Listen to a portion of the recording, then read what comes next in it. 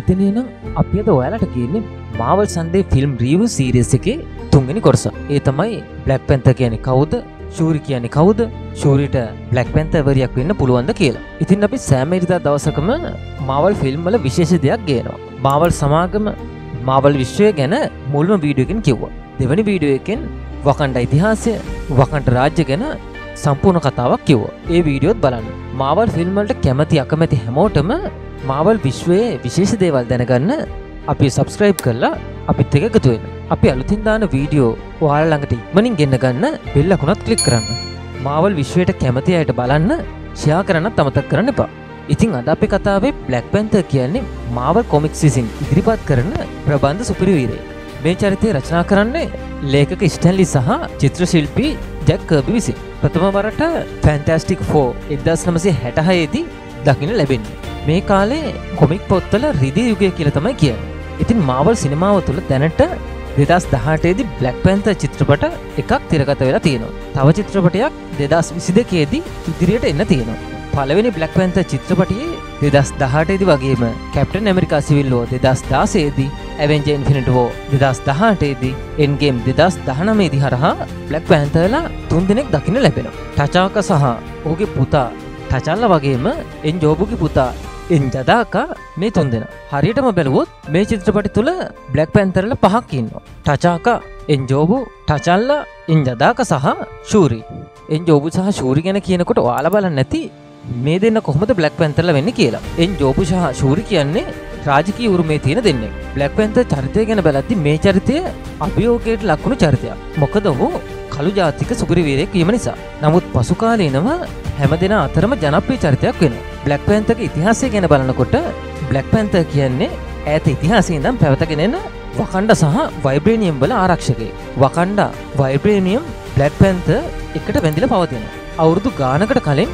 වයිබ්‍රේනින් උල්කාවක් වකණ්ඩ වලට වැටෙනවා මේ නිසා ශාකවලට සතුන්ට ජීවයට ලොකු බලපෑමක් කරනවා මේ කාලයේදී මේ ජීවත්වුණු මිනිස්සු සටන් කරමින් යුද්ධයකින් එක් දවසකදී යුද ටනශූරයෙක්ට බාස්ට දේවතාවියගේ ඡායාවක් පේනවා. ඇය හදවතේ හැඩේ පැලෑටිය පෙන්වනවා. මේ පැලෑටියෙන් ඔහුට ලොකු ශක්තියක් ලබා දෙන වගේම ඔවුන් යුද්ධෙන් දෙනවා. ඔහු තමයි පලවෙනි බ්ලක් පැන්ත වෙන්න වගේම වකණ්ඩවල ආරක්ෂක වෙන්නේ. ඉතින් බ්ලක් පැන්තකි ශක්තියෙන් තමයි දැනුම සටන් කිරීමේ ශක්තිය අධිමානසික ශක්තිය වේගය ප්‍රතිශක්තිය වැඩි දරාගැනීම ආයුකාලය වැඩි වයිබ්‍රේනියම් ඇඳුම සහ උපකරණ භාවිතා කරන වගේම වයිබ්‍රේනියම් ඇඳුමට හානි කරන්න සාමාන්‍ය ආයුධයකට බෑ චිත්‍රපටි තුළ දකින ලැබෙන ටචාක කියන්නේ වකණ්ඩවල කලින් හිටි රජ කෙනෙක් වන අසූරි රජුගේ අභාවයෙන් පසු සිංහාසනයට පත්වෙන වකණ්ඩවල රජතුමා ටචාකට ළමයි දෙන්නෙක් ඉන්න ටචල්ල සහ ශූරි. අමොන්ඩ තමයි බිරිඳ. නමුත් කොමික්වල ටචල්ලගේ අම්ම තමයි ටචල් ඉපදිනකුටම මිය ගිය එන් යාමි අමෝන්ඩ කියන්නේ ටචාකගේ දෙවන බිරිඳ. ටචල්ලගේ සුළුමව වගේම ශූරිගේ අම්ම. දෙදස් දාසය කැප්ටන් ඇමරිකා සිවිල්ලෝ චිත්‍රපටි තුළ දකින ලැබෙනවා ටචාක මිය යනවා. ඊට පස්සේ චාරිත්‍රාණ කූලව රජ කැම ලැබෙන්නේ ටචල්ලට ඔහු තමයි ඊළඟ බ්ලක් පැන්ත වගේම වකණ්ඩවල ආරක්ෂක වෙන්න. ටචල්ලටත් හදවතේ හැඩේ තින පැලෑටිය සාරය පානය කිරීමෙන් වකණ්ඩවල චාරිත්‍ර වාර්ත තුළින් ඔහුගේ ශක්තිය වැඩි දියුණු කරගන්නවා.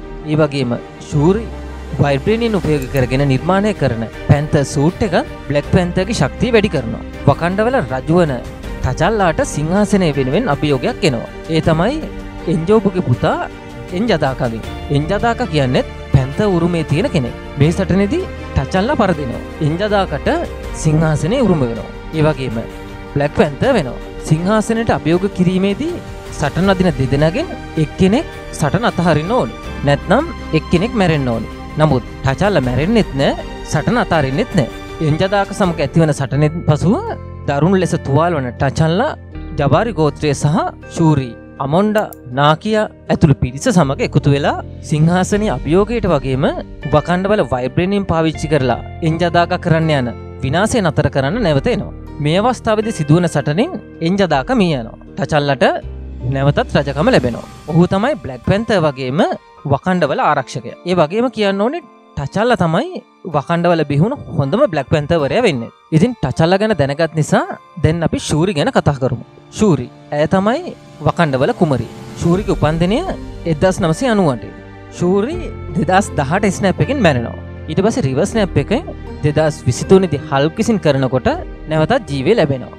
මාවල් ෆිල්ම් තුළ ලෙටිටිය රයිට් රංගනෙන් ශූරකි චරිතයට එකතු වෙනවා. ශූරී ටචාක සහ රමොන්්ඩගේ දියනී වෙන වගේම ටචල්ලගේ සහෝදරිය වෙනවා. ඇය තමයි වකණ්ඩවලට අලුත් පරම්පරාවෙන් නවීන තාක්ෂණය වකණ්ඩවලට ගේන්න. පෘතුවේ තියෙන නවීනම උපකරණ නවීනම තාක්ෂණය වකණ්ඩවලට හඳුනල දෙන්න. ඇයගේ දක්ෂතා මට්ටමේ බුද්ධිය සහ ඇදහිය නොහැකි ඉංජිනේල් කුසලතා හේතුවෙන් ශූරී වකණ්ඩ ඩිසයින් ගරෝප් එක ප්‍රධානය වෙනවා. ඒ වගේම වකණ්ඩ නවීන තාක්ෂණය වන වකණ්ඩ මැග්ලෙව් දුම්රිය වැනි බොහෝදය නිර්මාණය කරනවා. බ්ලක් පැන්තගේ අලුස් සූට් එකන් ඇය විසින් නිර්මාණය කරනවා.